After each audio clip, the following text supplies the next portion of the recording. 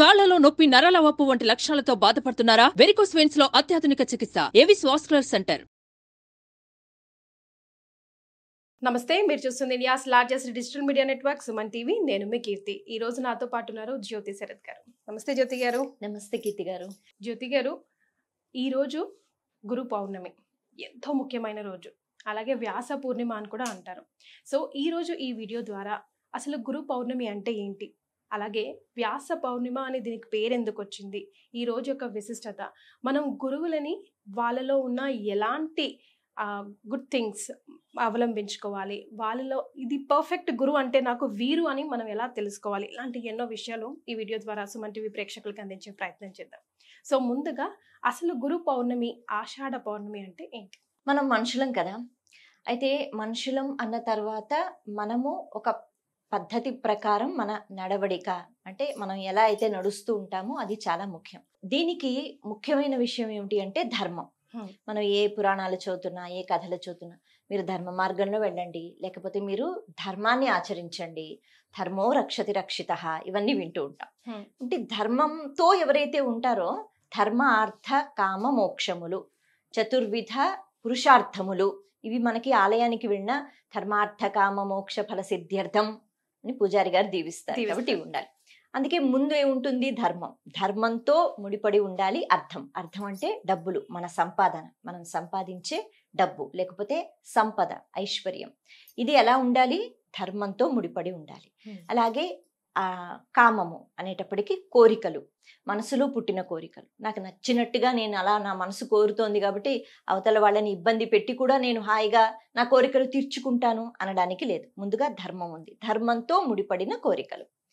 ఇలా జరిగినట్లయితే చివరికి మనకి మోక్షం వస్తుందన్నమాట కాబట్టి మనిషి అన్నవాడు ధర్మాన్ని పాటించాలి అయితే మనకి ఎలా తెలుస్తుంది ఏది ధర్మము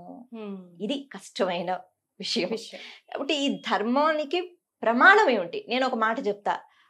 అది సరైనదా తెలియకపోవచ్చు మీరు ఒకటి చెప్తారు అది సరైనదా ఏమో వింటానికి అన్ని బాగానే ఉంటాయి అయితే ఈ ప్రమాణాలు ఐదు రకాలట మొట్టమొదటిది వేదం మన వేదం ఏం చెప్పిందో అది ప్రమాణం అంతకు మించిన ప్రమాణం లేదు ఇంకొకటి స్మృతి అంటారు స్మృతి అంటే అది వేదంలోనే కొన్ని విషయాలను ఒక క్రమబద్ధంలో కొంచెం అర్థమయ్యేటట్టుగా పెడుతూ ఉంటారు ఇది స్మృతి ఇక మూడో విషయం ఏమిటి అంటే పురాణాలు మనకున్న పురాణాలు గ్రంథాలు వాటిని చదువుకోవడం నాలుగవది శిష్టాచారము అంటే ఈరోజు పద్ధతిని పాటిస్తాను రేపు మళ్ళీ నాకు కుదరదు కాబట్టి రేపు నాకు నచ్చినట్టు నేను ఉంటాను అని అనడానికి లేదు ఎప్పుడూ పద్ధతులు పాటిస్తూ ఆచారాన్ని తప్పకుండా ఉన్నవాళ్ళు ఉంటారు ఇప్పుడు కొంచెం కష్టం hmm. అది శిష్టాచారం మనం పాటించకపోయినా అలాంటి వాళ్ళు ఎవరైనా ఉంటే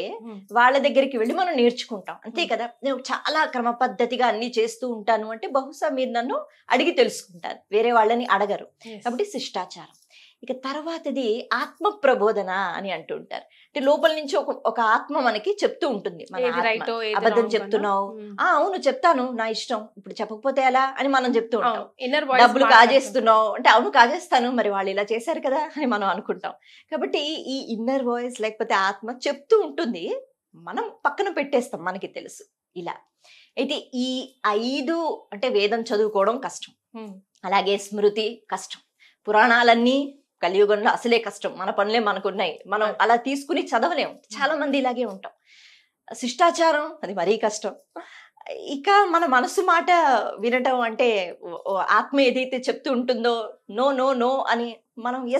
కూడా ఉంది కదా మనసు కోతి అని చెప్పి అంతే ఇవన్నీ కష్టం కాబట్టి ఒక గురువు ఉండాలి ఒక గురువు ఉంటే మనకి ఈ ప్రమాణాలు వాటిని ఎలా పాటించాలి అసలు ఎలా ఉండాలి ధర్మం ఏమిటి తెలుసుకోవాలి ఎందుకు అంటే మనం మనుషులం అంటే ఎప్పుడు ఎవరైతే ధర్మం పాటిస్తారో వాళ్ళకి విజయం కలుగుతుంది ఎప్పుడు ఆనందంగా ఉంటారు మన కోసమే ఇవన్నీ చెప్పడానికి ఒక గురువు ఉండాలి అందుకే ఆ గురువుకి పెద్ద బీట వేశారు కాబట్టి గురుబ్రహ్మ గురు గురుదేవో మహేశ్వర గురు సాక్షాత్ పరబ్రహ్మ తస్మై శ్రీ గురువే నమ చిన్నప్పటి నుంచి ఇదే నేర్చుకుంటున్నాం అందుకే ఆ గురువుకి అంటే ప్రతిరోజు మనం నమస్కారం చేసుకున్నా చేసుకోలేకపోయినా ఒక తిథి అన్నది పెట్టి ప్రత్యేకించి కృతజ్ఞతలతో ఎప్పుడైతే మనం పూజలు చేస్తూ ఉంటాం అదే ఆషాఢ మాసంలో వచ్చే పౌర్ణిమ దాన్నే గురు పౌర్ణిమ లేకపోతే గురు పూర్ణిమ అని అంటారు మరి వ్యాస పూర్ణిమ అనే ఎందుకు వచ్చింది పేరు అయితే గురు పరంపర అన్నది చాలా మంది గురువులు ఉంటారు మీకు కొంతమంది ఉంటారు నాకు కొంత ఒకే ఒక గురువు అని కాదు అప్పట్లో ఆశ్రమాలకు వెళుతూ ఉండేవారు కదా పిల్లల్ని ఒక ఆశ్రమానికి పంపించేసేవారు గురుకులం అక్కడ ఒకే ఒక గురువు ఉండేవారు ఆయన చిన్నప్పటి నుంచి మొత్తం అంతా నేర్పించేవారు వారు బయటకు వచ్చేసేవారు అయిపోయేది అంతకన్నా ముందు అంటే వాళ్ళు ఎక్కడ నేర్చుకున్నారు వాళ్ళ గురువుల దగ్గర అంతకన్నా ముందు అంటే ఇంకా మనం యుగాలు యుగాలు వెనక్కి వెళితే మహర్షులు లేకపోతే దేవతలు వీళ్ళందరికన్నా ఇంకా ముందు ఉండి అసలు మనకి వేదాలను లేకపోతే పురాణాలను ఇవన్నిటిని మనకి ఎవరు అందించారు అంటే వ్యాసుడు అని అంటారు వ్యాస మహర్షి అందుకే ఆయన పుట్టిన తిథి ఆషాఢ పౌర్ణిమ కాబట్టి వ్యాస పౌర్ణిమ అని అంటారు అంటే మనకి ఎంతమంది గురువులు ఉన్నా వాళ్ళందరినీ మనం స్మరించుకుని కృతజ్ఞత చెప్పుకున్నా వ్యాస భగవాను మనం విడిచిపెట్టకూడదు ఎందుకంటే ఆయన ఆది గురువు వ్యాసుడంటే ఎవరు అనే ఒక ప్రశ్న వేసుకోవాలట ఎవరు అని వేసుకున్న వెంటనే సమాధానం ఏమిటంటే వ్యాసాయ విష్ణు రూపాయ వ్యాస రూపాయ విష్ణువే అంతే విష్ణువే వ్యాసుడు పరబ్రహ్మ స్వరూపం అంటాం కదా బ్రహ్మ కూడా అప్పట్లో అంటే సృష్టి ఆరంభంలో ఎంతో మంది ప్రజాపతులను సృష్టించి వాళ్ళకి జ్ఞానబోధ చేశారు గురు రూపంలో ఈశ్వరుడు దక్షిణామూర్తి రూపంలో ఆయన వచ్చి జ్ఞానబోధ చేశారు చేస్తూ ఉన్నారు ఇంకా దేవతలు మహర్షులు వింటూ ఉంటారట శ్రీ మహావిష్ణువు అంటే ఆయన వ్యాసుని రూపంలో వచ్చారు అంటే వ్యాస భగవానుడే మనకి వేదాలు ఇచ్చారు అది సరిగ్గా అర్థం కావాలని చెప్పి వేద విభజన అంటే మొత్తం వేదసారాన్ని నాలుగుగా విభజించి శిష్యులకి అప్పచెప్పారు పద్దెనిమిది పురాణాలు అందించారు అలాగే పంచమ వేదం అంటూ మహాభారతాన్ని ఇచ్చారు భాగవతాన్ని ఇచ్చారు మహాభారతంలోనే శ్రీకృష్ణ పరమాత్మ భగవద్గీత చెప్పినా అది మనదాకా ఎవరు చేర్చారు అంటే మళ్ళీ వేదవ్యాసులు వారే కదా అలాగే విష్ణు సహస్రనామములు భీష్మాచార్యులు వారు అంపశయ మీద ఉన్నప్పుడు స్తుతించారు కానీ అవి మన దాకా ఎవరు చేర్చారు వ్యాస భగవానుడే కాబట్టి వ్యాసుడు అందరికీ ఆయన గురువు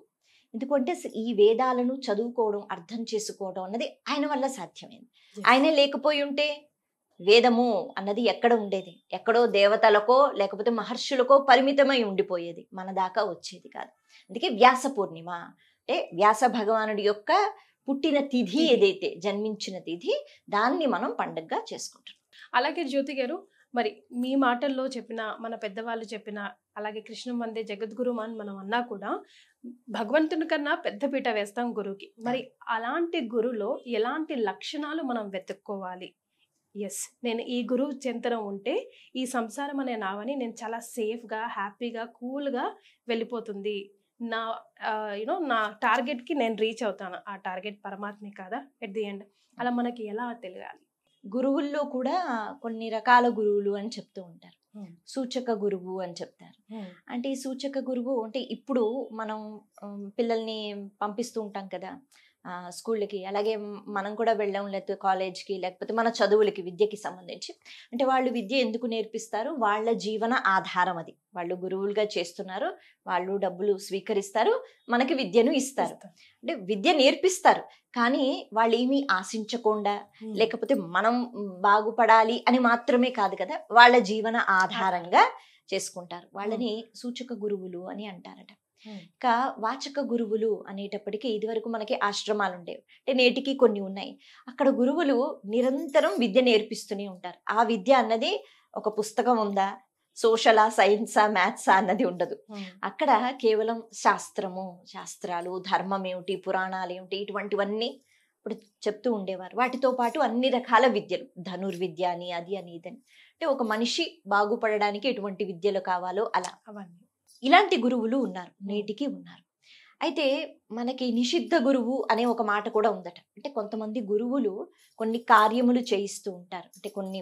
ప్రత్యేకమైన హోమాలు నేటికి కూడా మనం చూస్తూ ఉంటాం వాటి గురించి ఎక్కువ చర్చించకూడదు అయితే అలాంటి వాటి జోలికి మనం వెళ్ళకూడదు కాబట్టి అలాంటి గురువుల దగ్గరికి వెళ్ళి వాళ్ళ ఆశ్రయాన్ని మనం స్వీకరించకూడదు అని చెప్తుంటారు వాళ్ళు గురువులే కాకపోతే వాళ్ళు ఏం నేర్పిస్తున్నారు అది మనకి అవసరం లేదు కాబట్టి వాళ్ళని నిషిద్ధ గురువులు అంటారు ఇక పరమ గురువులు అంటే ఏ గురువు అయితే నిస్వార్థ భావనతో ఏమీ ఆశించకుండా కేవలం మనల్ని భగవంతుడికి దగ్గరగా తీసుకుని వెళ్తాడు ఎందుకంటే అంటే మన ప్రయాణం ఎలా ఉంటుందంటే ఒక చిన్న కథ మనం చెప్పుకుంటే వ్యాస భగవానుడు ఒక కథ చెప్తారట ధర్మరాజుకి ఆయన బెంగపడుతూ ఉంటారు కర్ణుడు ఎలాగైనా చంపేస్తాను అని అన్నాడు కదా అర్జునుడిని మరి ఎలాగా అని బెంగపడుతూ ఉంటే వ్యాసుడు ఒక కథ చెప్తారట మౌద్గల్య మహర్షి అని ఉండేవారు ఆయన తపస్సుకు మెచ్చుకుని ఇంద్రుడు పదవయ్య నిన్ను స్వర్గానికి తీసుకెళ్తాను అన్నట్ట ఆయన స్వర్గమా అండి ఎందుకు అంటే అక్కడ ఏముంటుంది అంటే అక్కడంతా సుఖంగా ఉంటుంది రోగాలు ఉండవు బాధలు ఉండవు బెంగలు ఉండవు అవునా అండి మరి ఎంతకాలం ఉండవచ్చు అంటే నీ పుణ్యం అయ్యేంత వరకు ఉండవచ్చు తర్వాత మళ్ళీ కిందకు వచ్చేస్తావు అవునా అండి మరి అంతకు మించింది ఏం లేదా అంటే కాదు కాదు అక్కడి నుంచి పైకి చూస్తే ఇంకొక లోకం కనిపిస్తుంది అక్కడ ఇంత అంటే ఇంకా ఆనందం ఎక్కువ ఉంటుంది అక్కడి నుంచి చూస్తే ఇంకొక లోకం అన్నారట అవునా అండి మరి అంటే ఇంకా ఆనందం అలా ఎప్పుడు అలా ఉండిపోయేటట్టుగా ఏదైనా ఉందా ఉంది కదా అదే నారాయణ లోకం విష్ణు లోకం అక్కడికి వెళ్ళిపోతే ఇంకా శాశ్వతం మళ్ళీ కిందకి రావాల్సిన అవసరం లేదు అని చెప్తారు కాబట్టి ధర్మరాజు అంటారు రాజ్యం గురించి బెంగ పెట్టుకోవద్దు ఈ బంధువులు బంధుత్వాలు పదవులు సంపదలు వస్తాయి పోతాయి శాశ్వత ఆనందాన్ని ఇచ్చే నారాయణ లోకం గురించి ఆలోచించు ధర్మరాజు బెంగపడకు ఇప్పుడు లేదు రాజ్యం వస్తుంది కానీ ఉండిపోతుందా పోతుంది అని చెప్పారట అలా ఏ పరమాత్మను చేరుకుంటే ఇక మళ్ళీ పుట్టవలసిన అవసరం లేదు అని మోక్ష స్థాయికి తీసుకుని వెళ్ళగలిగిన జ్ఞానాన్ని ఎవరైతే ఇస్తారో ఆయన పరమ గురువు అలాంటి గురువులు అంటే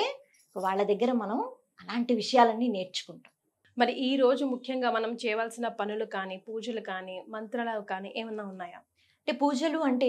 మనకి మన జీవితంలో చాలా మంది గురువులు ఉంటారు అంటే మనకి ఏబిసిడీలు చెప్పిన ఇంగ్లీష్ టీచరో సైన్స్ టీచరో అని మాత్రం కాదు అమ్మ అమ్మ గురువు అలాగే మనం మన జీవిత ప్రయాణంలో మంచి మాటలు చెప్పి నడిపించిన వాళ్ళు అందరూ గురువులే కదా వాళ్ళందరినీ కూడా మనస్ఫూర్తిగా స్మరించుకోవాలి కృతజ్ఞతా భావనతో ఇవన్నీ ఒక ఎత్తు అయితే ఇందాక నుంచి మనం చెప్పుకున్నట్టుగా వ్యాసుడు ఆయన అందరికీ గురువు ఆయన చేసిన మేలు అంతా ఇంత కాదు ఈ ఒక్కరోజు కాదు ప్రతిరోజు కృతజ్ఞత చెప్పుకున్నా సరిపోదు కాబట్టి ఆ వ్యాస భగవాను మనస్ఫూర్తిగా స్మరించుకుంటూ ఆయనకి కృతజ్ఞతా భావనతో మనకి తోచినట్టుగా మనం పూజలు చేసుకోవచ్చు మనం పాటించవలసింది ఏమిటంటే ఆయన ఏ పురాణాలనైతే చదువుకోండి అని మనకు అందించారు ఏ బ్రహ్మసూత్రాలు అందించారు ఏ భాగవతాన్ని భగవద్గీతని అందించారు వాటిని చదువుకుంటూ మనం మంచి మార్గంలోకి వెళితే వేదవ్యాసుల వారు ఆనందిస్తారు చాలా సంతోషం జ్యోతి గారు ధన్యవాదాలు